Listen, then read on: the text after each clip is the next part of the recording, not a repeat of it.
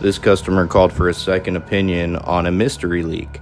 Their first opinion said it could be the tank bowl that was leaking or potentially the toilet needed to be pulled and reset. The customer told me this bathroom was rarely used and the water would pool even when this bathroom wasn't in use.